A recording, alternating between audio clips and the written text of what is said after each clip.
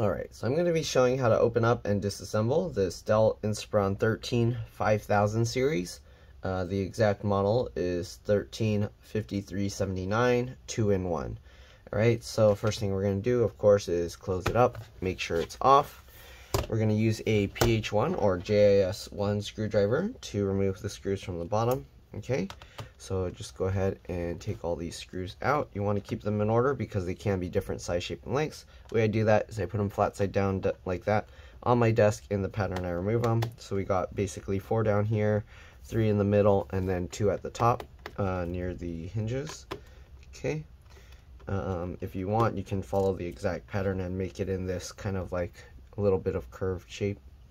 Okay, but as long as you can figure out where you got each screw from, then that should work. Alright, if this video helps you out, make sure to like, subscribe, share my channel with others so that they can learn how to upgrade and repair their devices as well. And if it helps you save a bunch of money, please consider contributing a little to the channel. Every little bit helps and allows me to continue making these videos for a living. Alright, so this uh, laptop is having an issue charging. So we're going to see if we can fix the charging issue. Um, and then also, I think because of the charging issue and it shutting off, it damaged the hard drive. So we're going to see if we can repair the hard drive as well. Alright, so now that we got all the screws out, we're going to see if we can pop this bottom cover off. So I'm going to open it up like this. I get my fingernails in the gap here of the cover, and then I push with my thumbs on the palm rest. Okay, and I push on the palm rest. You don't want to push on the trackpad. Okay, so let me see if I can it's kind of difficult to do this and trying to keep it in view of the camera. Let's see here. Okay. So I guess the back part popped up first. So when I did that, the back part popped up. So we're just going to go along here, see if we can pop up more of this. Okay, same thing, get in there. I just went in with my fingernails and pulled like this, pushed with my palm. okay, and then we're going to go along here and now the front is the only part that's left. So we should be able to kind of lift it up and wiggle it and see if it should pop out. And there we go. Oh there are strong magnets here that kind of help hold it as well. Okay so first thing I'm going to do I'm going to test the charge port because the charge port is right here okay? And we have a replacement charge port. So I want to disconnect this. So I just go here use my fingernails here and kind of just wiggle it and as you wiggle it you can see it comes out. Okay when you get the replacement one make sure you put it back the right way. You can see if I were to just put this here it would go upside down. So you want to make sure that you get the connector plugged in the right way with the red wires on the right side and the black wires on the um, other well I, I meant right side as in the correct side not right as in left and right. But um, yeah Okay, so you want the non-exposed pin side facing up. Here you can see if I flip it over, you can see the metal pins. Okay, so we're going to plug this in. Okay, and I'm going to test this outside of the computer without installing it completely yet. Because to get this out, we either have to break this plastic here or remove this hinge part and to get this hinge out we actually have to take the whole motherboard out. So I spoke with the customer. I told him it'd be much easier to just break this little piece of plastic and then we can just fill that with a glue or something and it'll actually be much better. So in the future you can change this out much easier anytime. Okay? So I don't know why they designed it like this. Kind of a dumb design but let's plug this in. And here I can see um, on the front of the laptop before the light here was very unstable. Now it doesn't matter how I move it, it stays on, alright? So definitely the charge port was having some problems. Okay, so I'm just going to unplug it now. And then we're to see if we can easily replace that by removing the plastic like I said. Okay, so we're to pop the charge port back out. Okay, so what we have, we have one screw holding up here in the corner. So we're going to remove that screw. Okay, and once we got that screw out, you can see if we try and move this, it's stuck, okay, because of this dumb design. What I'm going to do, I'm going to remove this screw here, okay, and that, I don't think that's going to be in, quite enough. Like if I open up the thing and then close it a little bit, it does pop up a tiny bit, but not much. So I don't think I'll be able to get the charge port out from here. Yep, nope. Okay, so what we're going to do, we're going to try and break that little plastic wing that's right there. Um, and to do that, let's see if we can use like a small flathead screwdriver or something. So I'm going to just get in there and we're just going to pop that out. So there we go, just like this. Okay, this little piece. And hopefully that will be enough that we can uh, remove the charge port. Okay, I'm going to use some small needle nose pliers and pull that out. So here you can see we got that little piece out. And hopefully that's good enough that we can remove the charge port. And there you go. See, so now you can remove the charge port and put a new one in very easily. I don't know whose idea was it to make it like this, but um, yeah. All right, so now we're going to get the replacement charge port. You might have to kind of bend the wire a little so when you hold it, it kind of goes at an angle like this, okay? And then you can use that as a handle. Oh, probably have to bend it more. Okay, then we can use that as a handle to get that in. There we go. And we don't want to just leave this area open here because if we do, um, it can move too much, wiggle too much to the sides. And then that can cause it to um, release. All right, we're to get this screw and put that back in. Okay, make sure it's nice and tight. You don't want this screw coming loose. I personally would put the uh, red uh, thread locker. Let's get this screw in. So I'll do that in a bit, okay?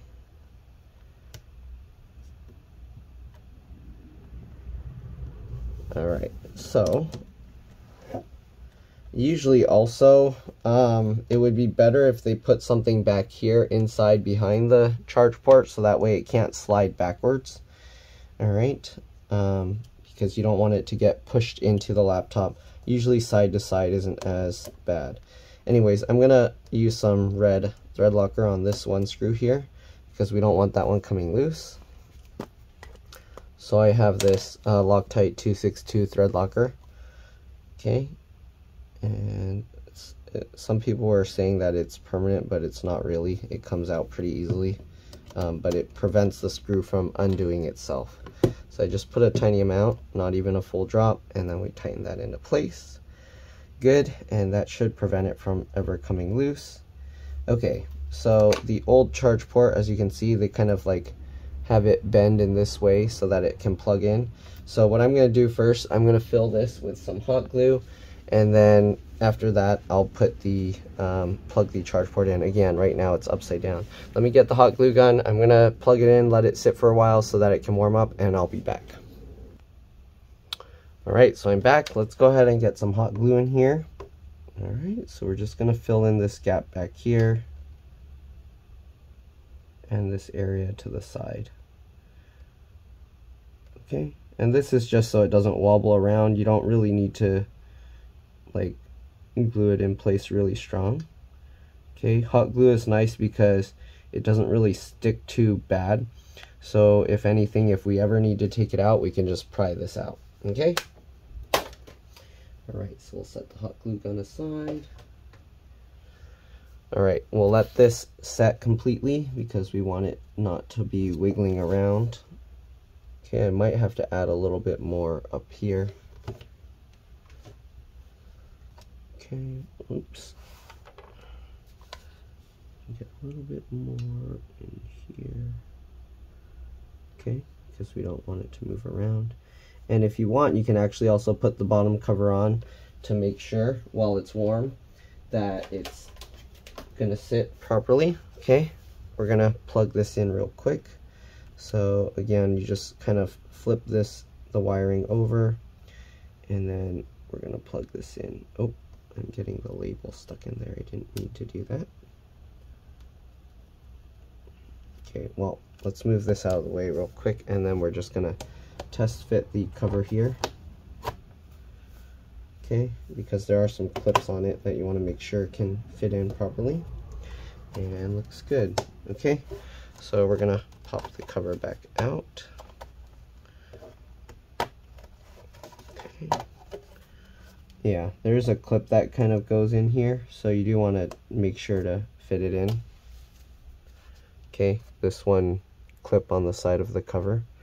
So you want to make sure that that does go in without getting blocked by the glue, okay? So that's good. All right, we'll set that aside. Anyways, we're gonna let this completely set. Let me get this stuff off of this label.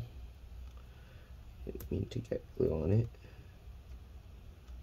Oops, I tore the label a tiny bit. But as you can see, the glue kind of comes off really easily.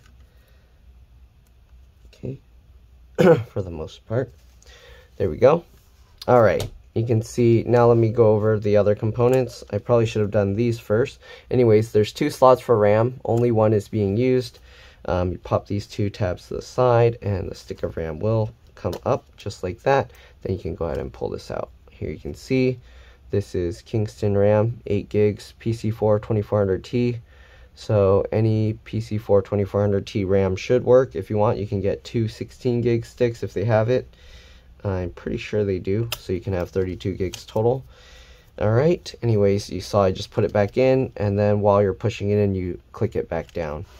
Right? If you're going to mess with these, the LCD LVDS connectors and the touchscreen digitizer connector, um, you want to make sure to disconnect the battery first open up the laptop and press and hold the power button for at least 15 seconds before messing with these. Otherwise, you could fry the backlight circuit or the screen. So you want to be very careful. Battery connector is here. It's connected in two places. Um, usually I will just disconnect the white one, but in this for this one, you will have to remove the battery screws to be able to have room to grab this. Okay, so just be careful with that. If you try and pull it here, you'll probably end up damaging the connector here. I'm not going to take it out because we're not doing that type of repair, so I'm going to leave that. Um, then we got the hard drive here. You got the CMOS BIOS battery here. You got this little cable here, which goes down to the power button and volume buttons here. Okay, so if for some reason your power and volume buttons break, this is replaceable. There's looks like just one screw here. Okay, and the SD card slot as well as the USB port here connect to this here, there's a little flip latch that you can flip this up. And once you flip that up, then you can pull the cable out. I'm going to leave that attached because we don't need to do anything with that. Okay, and same thing on the motherboard end. You got the fan connector here. This comes out like the charge port DC jack. You just grab this and kind of just wiggle at the wings to pull it out. Two screws there. Wireless card is also attached to this board. Um, so if you want to remove that one screw, it pops up slightly at an angle, then you can pull it out just like the RAM. There are the uh, antennas here. To pull them out, you lift up at the tails after you remove this metal bracket. I'm going to leave that as is. Again, if you want to see how to do that, I have other videos of laptops where I show this. I don't want to do that because sometimes the solder for these are bad and then there's a risk of the antennas ripping off. Alright, you got the 2.5 inch SATA hard drive that we're going to be replacing speakers here. One wire runs along from that speaker to this one, and then it plugs into the motherboard here. And then you got all these little connectors um, right there. Uh, since I'm not taking out the battery, I don't know exactly what each one are, uh, is. Actually, let me take the battery out real quick, or at least lift it up. Also, battery model number here is WDX0R. It's a very common Dell model battery. Okay, let's go ahead and actually lift the battery at least so we can see what's underneath. Okay, I think one is for, this is usually keyboard, keyboard backlight, um, and then this is probably like the trackpad and the little battery light on the front, but let me see which is which. Okay, Alright, so we're to lift that up, and here you can see the thicker one is for the touchpad or trackpad, and then the smaller one is for the battery light there. Alright, it's kind of dusty under here, so I'm to clean that up real quick, and I'll be back. Actually, I might as well take this opportunity to remove the battery if I can. Alright, so what we're to do, we're to lift this up, kind of swing this out of the way a little bit, and then usually I use my fingernails at the edge and kind of use that to help wiggle this. Sometimes it doesn't come out and then I have to um, use a tool in this area here to help pry the connector out. But uh, let's see. Hmm. yeah, this connector is stuck in there pretty good. Let me actually remove it from this side then, because usually this side is easier. So I'm going to grab the whole connector like this. I'm going to kind of just wiggle it, and there we go. Okay, so now I can clean the battery out off. It has all these like crumbs and stuff on it. Okay, there we go. It's a lot cleaner. It's still kind of gross, but it's a lot cleaner than before. Then I'm going to also clean this off a little bit. Don't want to do too much on it. Because there's a little risk involved. All right, there we go. We got the battery area a lot more cleaned out. Okay, then we're to just get this, plug it back in. To, again, take note of which way the pin things are, that the gold pins are facing up, and then just push that back in. Good. Going to swing this back over, line everything back up, and we'll get the screws back in. All right, next thing we're to do is we're going to install the 2.5 inch SATA SSD.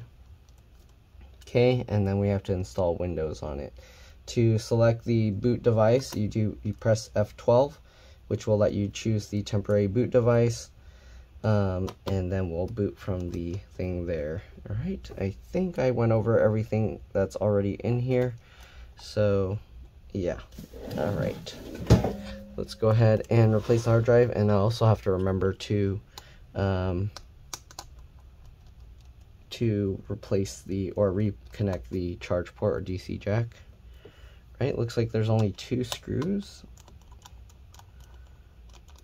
The other screw on this side is part of the bottom cover, okay? All right, now that we got those two screws out, we're gonna carefully lift this. You wanna be careful because I am leaving the connector on that side. I'm gonna use my fingernail in here to pry the um, connector off. Let me zoom in so you guys can see that better. Okay. All right, so what I do is I get my fingernail in between here and here, and then I pry it with my thumb like that. You can see it pops out. We're going to go on the other side and do the same thing. And there we go. We got the hard drive out. Let's go ahead and zoom back out here. I didn't even do a, I don't think I got a thumbnail for this one. But there we go. We got the hard drive out. It's actually a pretty slim two and a half inch SATA hard drive. So keep that in mind. All right. We're to get the replacement here. Okay, there's four screws holding the hard drive onto this metal bracket, so we're to take that out.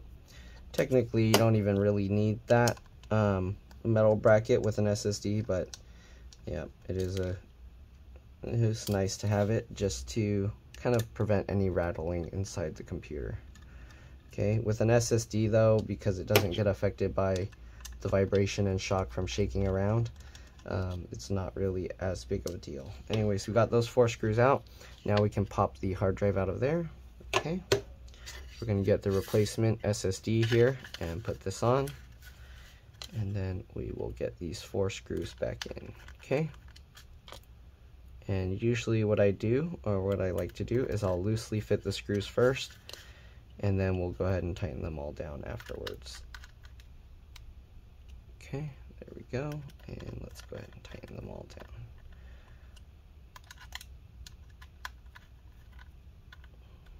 Good last two. Okay, perfect. Then we get this. And usually what I'll do to make this the best way is you kind of hold the connector still and then line up this and push the hard drive while just holding the connector, okay? Like this. All right, there we go. Then we'll get this into place again. Get these two screws back in. I am going to have to take a thumbnail for this so, oops, actually let me reconnect the charge port or DC jack before I forget, and then we'll do the thumbnail. Okay, so we got the SSD installed. Now we're gonna zoom in and get this connector reconnected. Okay, this kind of, this uh, label here is a little bit in the way, but um, yep, it is what it is. Okay, so we're gonna kind of have to curve this wire over and then curve it back like this.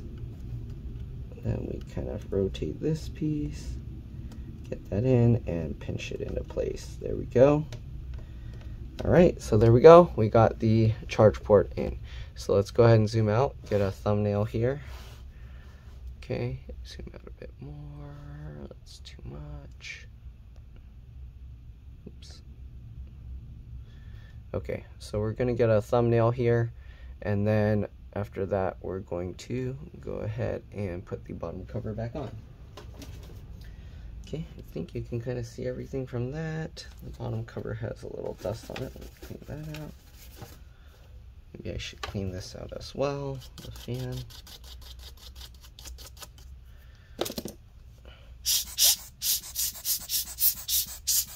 Okay, there we go. Okay, so now we're just gonna put the bottom cover on.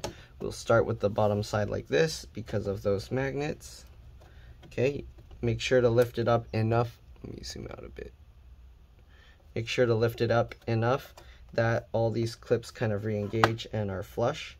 And then you kind of hold it in place, slowly lower it down, and then clip the sides. Okay, work your way up and clip it all into place. And there we go.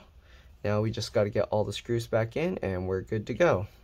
Okay, then I will show you how to kind of boot into the installing mode. But other than that, that's all there is to this. Hopefully this video helped you guys out. Again, if it did, make sure to like, subscribe, share my channel with others so that they can learn how to upgrade and repair their devices as well. If it helped you save a bunch of money, again, please consider contributing a little to the channel. Every little bit helps and allows me to continue making these videos for a living. Other than that, you're welcome to stay as I get all these screws in and then we'll do a quick boot to the Windows installer. I'm not going to show how to do the whole process of installing Windows because basically just follow the on-screen prompts. Um, but yeah, we'll boot up from the USB drive. Okay, let's get this last screw in. There we go. And let's go ahead and flip this thing over. Plug it in. Plug it in, plug it in. We'll connect our Windows 10 USB installer here. Okay, now that we got all of that connected, what we do is we'll power it on and we'll press, we'll continuously press F12. So right after powering it on, just keep pressing F12. Okay, just like this. You should see at the top right, preparing one-time boot menu there and here you can see the SanDisk Cruzer Fit. We'll press enter. I have two versions of Windows 10 on here, 64 and 32 bit, so I have to select. Usually you don't, and then it will go through the Windows 10 install process.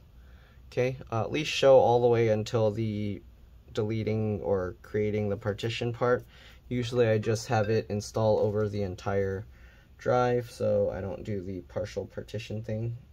Oh, I'm getting some messages here. Okay, so there we go.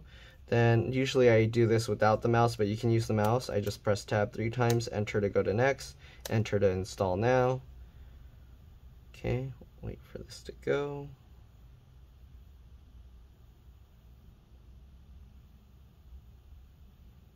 Setup is starting. So this can sometimes take a while. Okay, then I press spacebar to accept, enter for next. I press the down arrow to go to custom. Then I press enter. Here you can see it's completely unallocated. I'll press enter for next and then the installation will begin. After that, just create your username, password. I don't like to connect to the internet in the beginning because then it forces you to create a Microsoft account um, or use a Microsoft account and then um, yeah, then it's always linked to that email and I don't like to do that. So I'll do this once it's finished. Why is it not focusing? Okay, once it's finished, um, then I just run Windows updates until all the updates are done. And usually that'll get all the drivers, but sometimes it doesn't. You might have to manually get them. But yeah, anyways, other than that, that's all there is to it. Thanks for watching, and I'll see you on the next one. All right, let's drop this. Bye.